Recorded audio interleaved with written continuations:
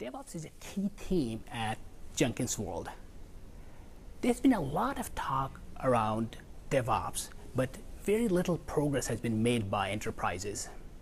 Come to my talk at booth 302 at Jenkins World and I'll walk you through how to architect a modern software factory that enables you to deliver a software that really delights your end user and allows you to deliver it at a high speed and ultimately at, a very high quality.